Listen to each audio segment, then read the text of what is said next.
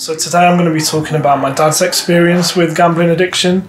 Um, so almost seven years ago, he ended up very suddenly going to prison. Um, he'd stolen money from his work to fund a gambling addiction that he kept secret for a very long time.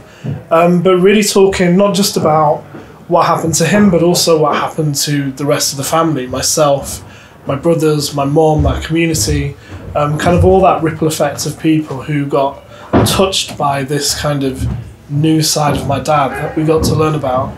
Um, so I'm really going to be talking a lot about that and how it's affected us and uh, what we've done since.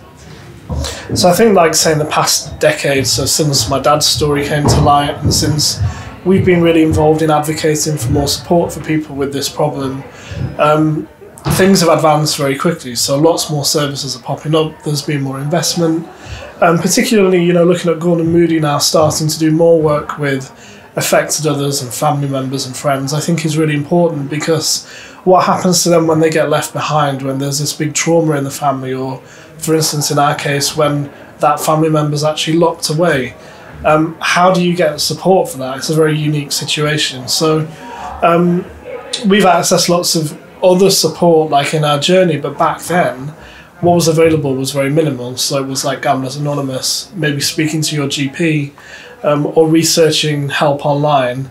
Um, now it's great to see more groups popping up and more support being rolled out.